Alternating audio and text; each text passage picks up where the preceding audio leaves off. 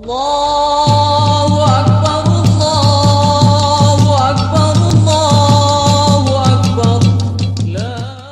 Dengan ini juga saya mengucapkan selamat Idul Fitri. Mo- mohon maaf lahir batin.